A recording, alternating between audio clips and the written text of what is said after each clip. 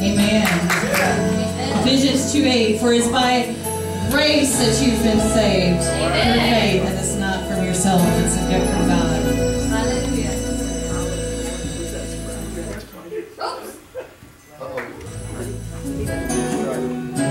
You've lost it all, your dignity and pride. A sinking soul swimming